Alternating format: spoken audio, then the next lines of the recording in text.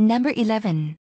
Among those invited to the festival was Imelda Marcos, the former First Lady of the Philippines. invited 동사가 아닙니다. 과거분사입니다. 도주를 꾸며주는 과거분사. invited to the festival 하나의 덩어리로 묶어 두세요. 축제에 초대받은 사람들 이런 의미가 되겠죠. 자, 이 문장의 주어 동사를 찾아보세요. 주어는 those 아닙니다.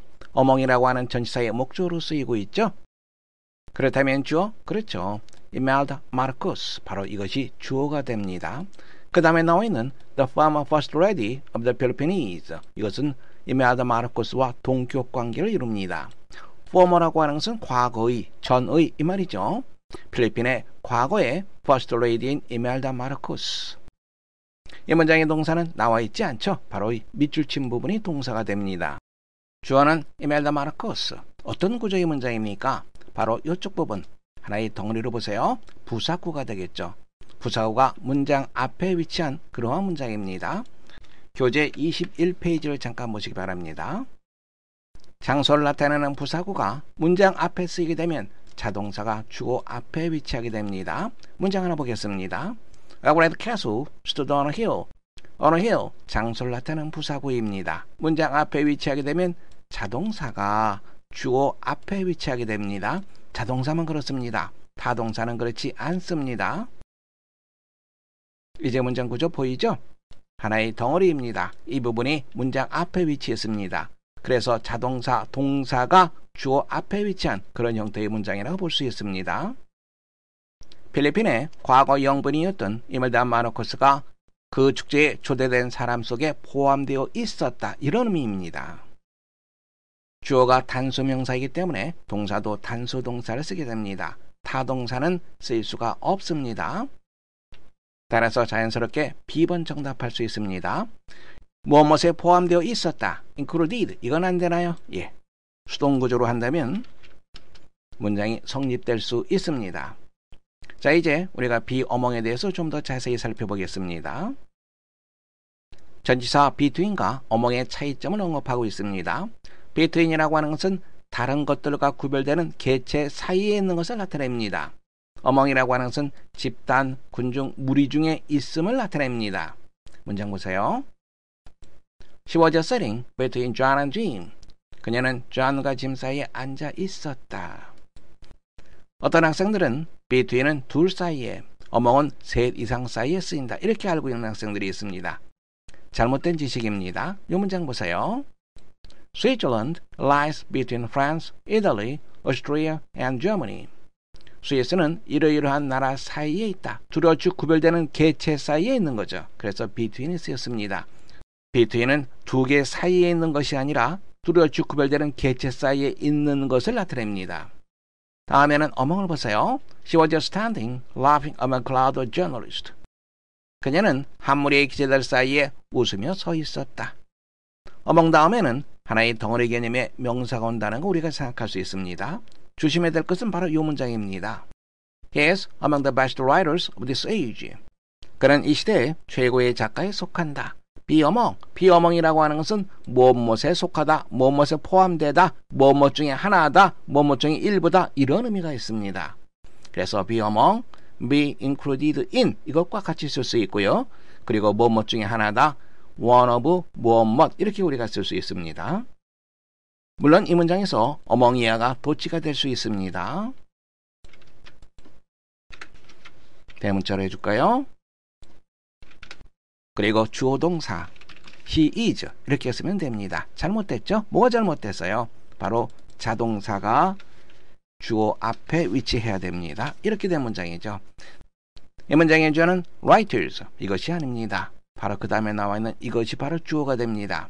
그래서 writers 이것이 주어다 이렇게 생각하면서 여기에 R을 쓰는 학생들은 잘못된 문장을 쓰고 있는 겁니다. 실제로 문제로도 바로 이것이 아냐 이냐 이러한 문제가 상당히 많이 나온다는 거 염두에 두시기 바랍니다. Number 12. Dealing with all maritime matters, including emissions from ships, blank, a competence at IMO, the International Maritime Organization. Maritime 바다의 해양의 이런 의미입니다. with 다루다 처리하다라고 하는 말이죠. 이 문장의 주어 동사를 찾아보세요. 주어는 ships? 아니죠. from이라고 하는 전치사의 목적어가 되겠죠. 주어는 dealing with 바로 이것이 주어가 됩니다. 문장 다시 보세요. 모든 바다의 문제를 다루는 것은 무엇을 포함하여 including emission from ships 안에 덩어리로 먹고 두면 됩니다. 배에서 나오는 배기가스를 포함한 모든 해양 문제를 다루는 것은 dealing with 주어 동사는 그렇죠. 바로 이쪽 부분이 동사 자리가 되겠죠. 동명사죠. 동명사는 단수 취급을 한다. A competence at IMO. IMO는 국제해양기구를 말합니다. 우리가 조심해야 될 것이 competence라고 하는 단어입니다. competence, 예, 능력이라고 하는 뜻이 있죠. 우리가 이렇게 알고 있습니다. 그런데 권한이라고 하는 뜻도 있습니다. 꼭 봐두시기 바랍니다. IMO의 권한이다. 그래서 뭐뭐 하는 것, 다루는 것은 IMO의 권한이다. 이렇게 우리가 문장 보면 됩니다. 동명사는 단수 취급을 하니까 B번, D번은 예선 탈락이 됩니다. 빈칸에 비동사가 와야 되나 아니면 have 동사가 와야 되나 어떻게 결정합니까? 그 다음에 나와 있는 이 competence가 보라면 비동사를 써줘야 되겠죠. 목적어라면 have 동사를 써줘야 됩니다. 이 문장에서는 어떻게 해석됩니까? IMO의 권한이다. 뭐뭐이다. 뭐뭐이다면 바로 보호가 되는 거죠. competence는 바로 보호입니다. 따라서 빈칸에는 have 동사가 아니라 비동사가 쓰이게 됩니다. 여러분들은 A 정답하시면 됩니다. Number 13. That summer I learned how to design a building and what it is, blank, to work on a team. That summer, 그의 여름, 나는 배웠다. 목적어가 어떻게 되어 있습니까? 목적어는 이것이 첫 번째 목적어, 그리고 이쪽 부분이 두 번째 목적어입니다. 목적어 1, 목적어 2입니다. How to design a building. 건물을 어떻게 설계하는지를 나는 배웠다.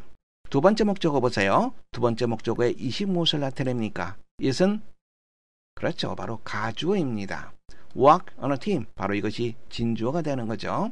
한 팀에서 일하는 것이 무엇과 같은 것인지 어떤 것인지 나는 배웠다. 이런 의미입니다. 교재 50페이지 잠깐 보시기 바랍니다.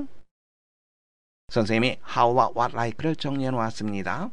how는 일시적인 상태, 기분, 건강 상태 이러한 것들을 나타냅니다. like는 사람 혹은 사물의 본질적 특성을 나타냅니다. 문장 보세요. How does the bus look this morning? how가 쓰였죠? 일시적인 상태, 기분, 건강 상태를 나타냅니다. 사장님은 오늘 아침에 어떻게 보여? 일시적인 상태. How's Mary? She is very well. 건강을 묻고 있습니다. 메리는 지금 건강이 어때? 그녀는 아주 건강해. What like를 보세요. What's your mother like? She is a very nice person. What like? 본질적 특성을 나타낸다고 얘기했습니다. 어머니는 어떤 분이야? 그녀는 대단히 멋진 분이지.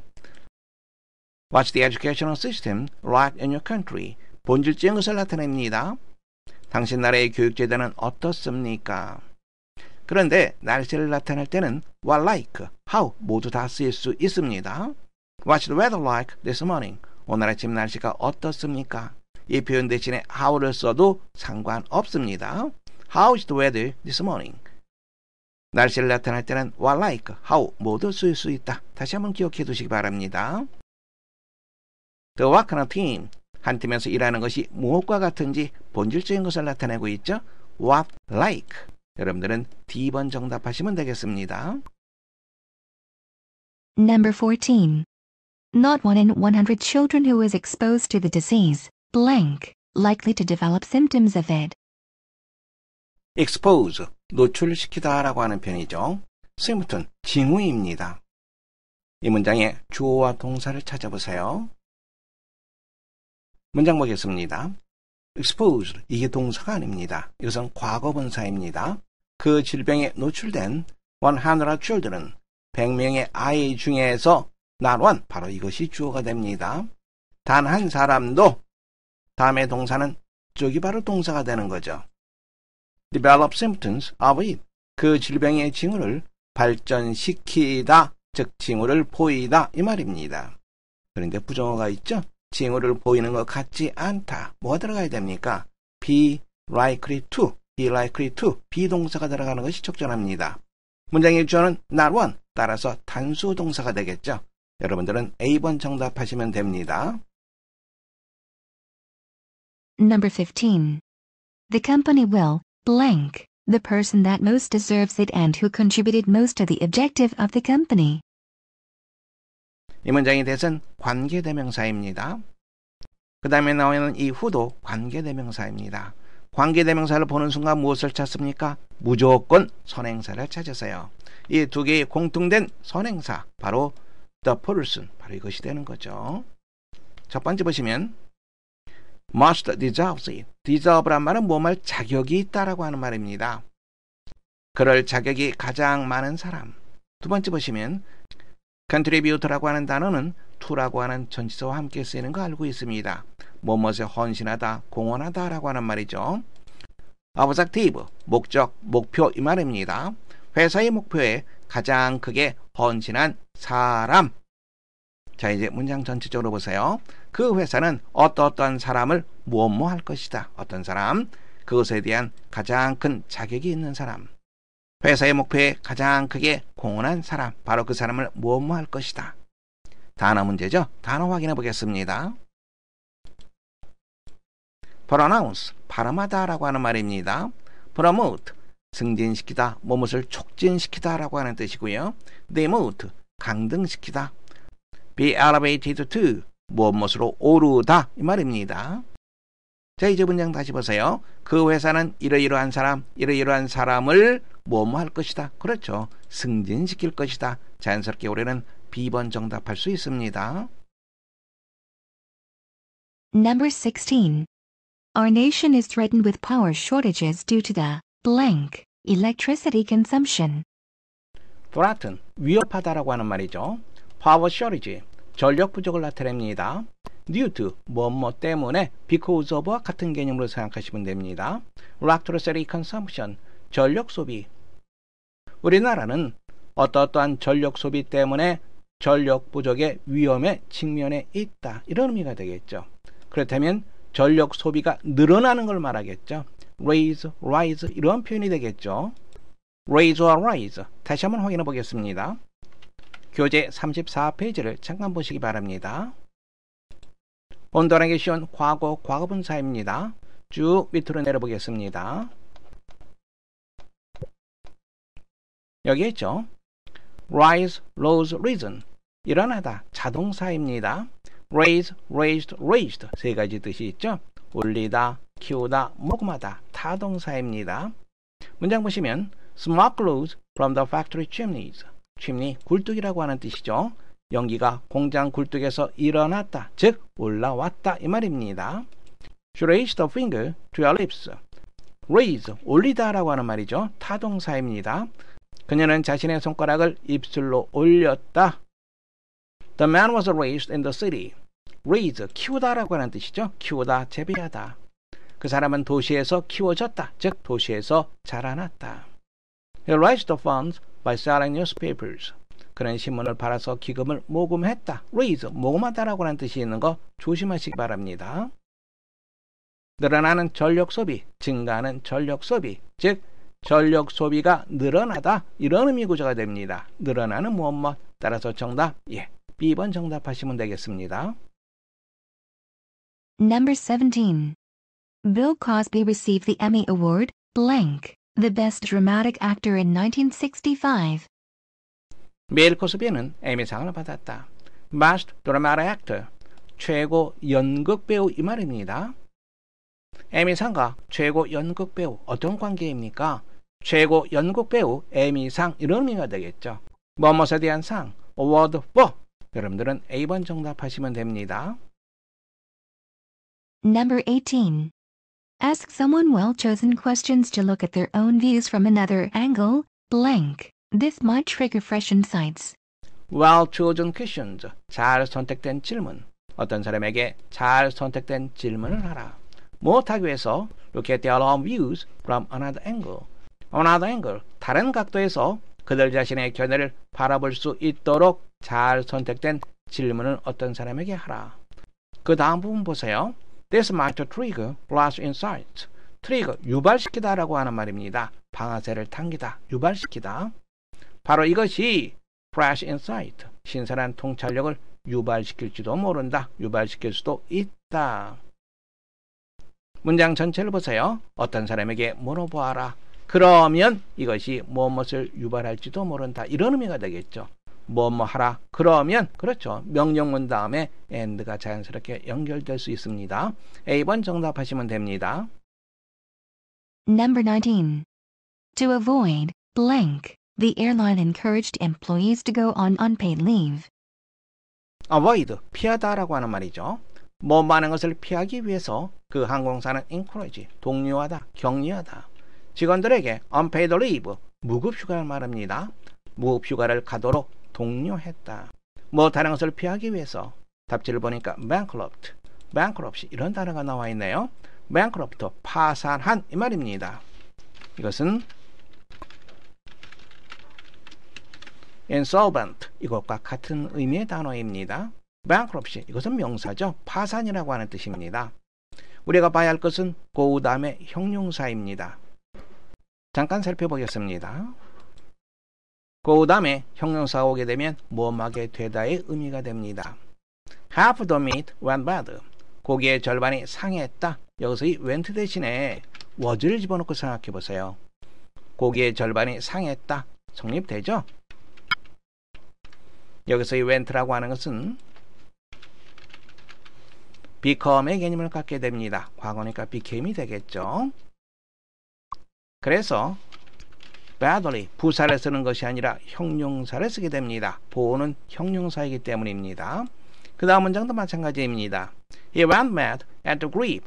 grief 아주 큰 슬픔을 나타냅니다. 그는 그 슬픔 때문에 미쳐버리고 말았다. 제정신이 아니었다. 이런 의미입니다. 여기도 마찬가지로 madly 부사로 쓰지 않습니다.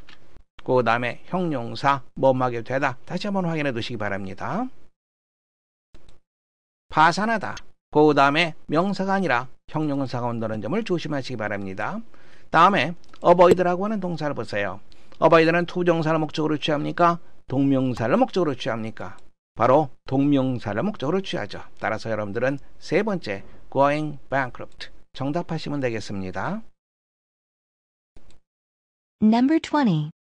Successful businesses are blank to economic change. 성공적인 사업체들, 즉 성공적인 기업을 말합니다. 성공적인 기업들은 뭐뭐 한다. economic change, 경제적 변화에 뭐뭐 한다. adaptable, 적응할 수 있는. adaptable, 채택할 수 있는 이런 의미죠. 경제적 변화에 적응할 수 있다 이 말이니까 adaptable 이 단어가 적절합니다. 따라서 C 그리고 D는 해당 사항이 없습니다. 다음에는 high와 highly 잠깐 구별해 보겠습니다. 교재 46페이지를 잠깐 보시기 바랍니다. high는 형용사로서 높은 이러한 뜻이 있죠. 부사로서는 물리적인 높이를 나타냅니다. highly는 부사로서 상당히 정도를 나타냅니다. 추상적인 정도. 다시 한번 확인하세요. 물리적인 정도를 나타낼 때는 high를 쓴다. 추상적인 정도를 나타낼 땐 highly를 쓴다. 조심하세요. 문장 보세요. That is a very high building. 그것은 상당히 높은 건물이다. 형용사로 쓰였습니다. 두 번째 문장입니다. Birds are flying high. 새들은 높이 난다. 여기서의 high는 물리적인 높이를 나타냅니다. 세 번째 문장. He was highly praised for his work. 그는 그의 일에 대해서 상당히 칭찬을 받았다. 상당히 추상적인 정도를 나타냅니다. 따라서 highly가 쓰인 거 우리가 확인할 수 있습니다.